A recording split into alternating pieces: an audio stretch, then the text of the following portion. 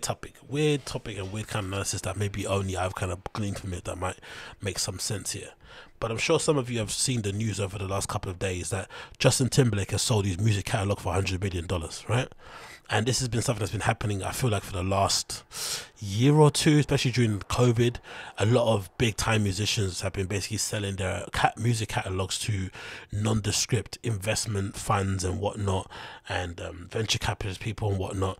And it feels like, you know, most of the people who are selling it are selling it as a way of like kind of cashing out because they maybe feel like, you know, at the moment their career is not going the way they want it to be. They're not maybe as relevant or maybe as, you know, out out there in terms of the you know putting out music and performing all these festivals and stuff. So if you know how they're competing with everybody at the moment, and somebody comes up to you, you know, kind of a quote unquote legacy act and wants to give you fifty million plus for your music catalog, then it might be a good time to kind of cash in on it because you never know. Your music catalog could be worth absolutely zilch going forward, which it probably won't be. But I see with the temptation, especially if you own your masters, it seems like a quite a pretty good payday. And if you're an artist and you feel like you're incredibly creative, you're probably betting yourself anyway to be able to make a fifty million dollars worth more of good songs in the next twenty years or so.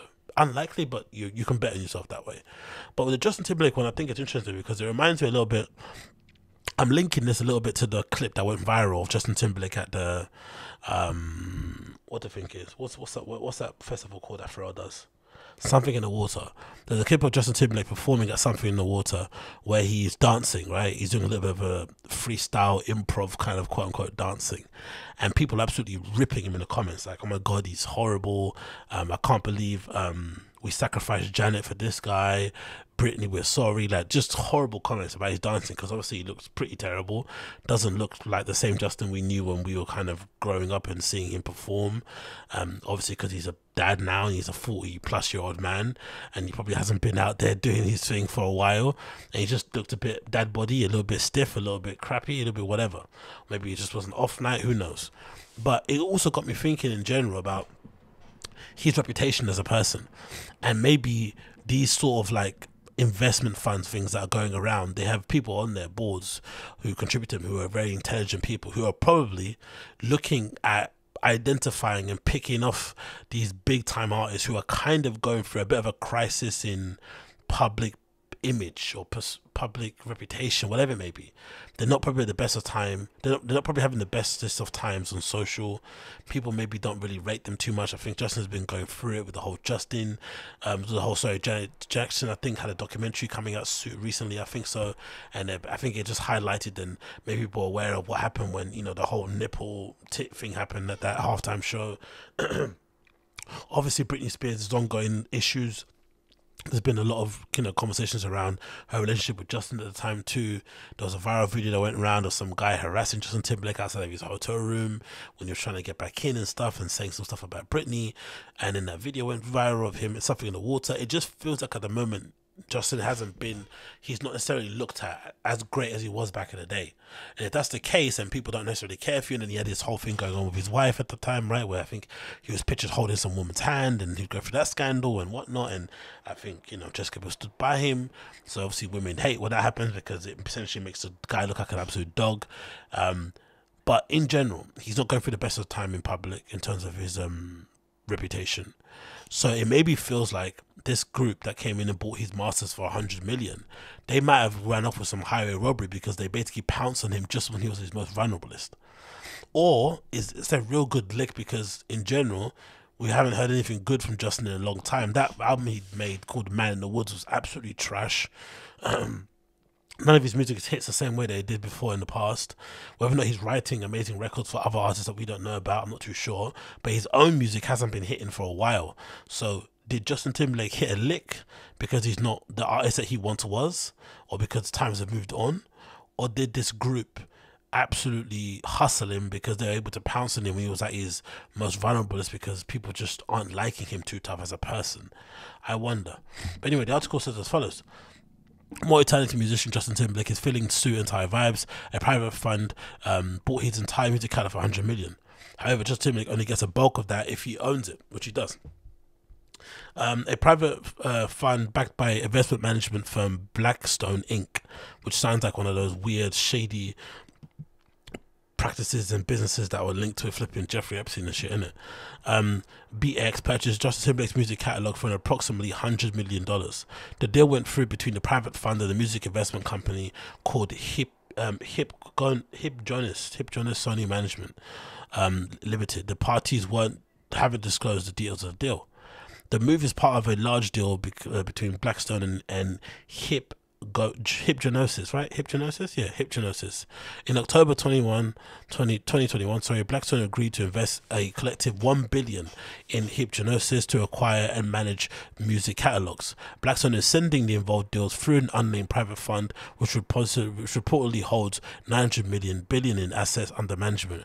This fund also has a stake in Hipgnosis as part of the deal. The Timberlake deal consists of 200 songs that the artist wrote or co-wrote beginning in his early days in 1990s and early aughts um, with boy band NSYNC. Perhaps most interestingly, Justin Timberlake is 41 years old, much younger than artists who sell their catalogs to manage estates like think Bob Dylan and late Leonard Cohen, which is true, but I still think he's 41 in our years, but he's probably like 50 in flipping musician years. You know I mean? He's been around for a long, long time. What does it mean for his own masters? What does it mean sorry to own masters? A master's recording is the original recording of the song which the producer can copy to various different purposes. An artist's music catalog is made up of the master recordings. When an artist owns their masters they are free to use and sell and capitalize on their music. They can also license their music to third parties allowing various forms of media. This is also why i'm hoping this deal like many other deals that are made public, can also be a wake up call to a lot of people in hip hop who are like always sign shitty deals. Because I'm getting tired of that whole common trope of like, I'm a guy from the hood, I don't know how to read contracts, I was duped, they signed me for a nickel, or they, they signed me for a thousand pound in a burger. It's like, you shouldn't be that dumb and naive anymore, even if you're broke, to be able or be willing to accept that kind of money, especially for your art. Like, I don't do much, right? I DJ here and there, I do a podcast, and it's not that intrusive, it's not that hard it's not that taxing, whatever it may be. But I can't imagine being an artist, sitting down, writing raps, putting together a song, thinking of compositions, producing it, um, mastering it, all that stuff. It takes long to do, right? Especially if you've got people involved as well. Then to just be so blasé about who you're signed to and not take any precautions to maybe get it read over by a lawyer or just to sit down for yourself and read it for a day. Personally, I never got it. I always think it's an excuse to cop out people being lazy. And I feel like now, with this sort of deal, especially with Justin Timberlake only being 40 or 41, sorry, it should be a wake up call for people to say that, hey, this man was able to make this much amount of money from his art because from a very early age, he realized how important it was to write your own stuff and to own your own stuff and he's essentially being rewarded for it because now at the time where in his life he maybe isn't the most well liked person in the world he's still able to command that level of um, respect when it comes to the deal because of what he done prior and because he owns everything right? He's able to kind of command that respect in terms of the fee and stuff. And that's obviously going to help him do other things in the future he wants to do. Maybe he'll secure the future of his family from generations to come. It might be an investment to do other things. Who knows? But regardless i think this hopefully should serve as a wake up call to people. A, don't sign shitty deals, and B, try and write as much of your own stuff as possible. It continues. Only mother did just own his masters before the deal. London based trader, uh, we don't, he probably did. Let's not convince that, but yeah. Anyway, that's basically what I'm trying to basically say with the whole thing. So I'm not really too sure. Did did Justin get hoodwinked because this Blackstone group were able to tell that he was suffering out there on in the old Twitter spaces and social media and shit, or did he actually run off on a plug and this smile is all the way warranted because he knows he ain't got another good song in him? So the fact that someone wanted to pay him a hundred million for his old songs, he's like all laughing away to the bank. I don't know. I don't know.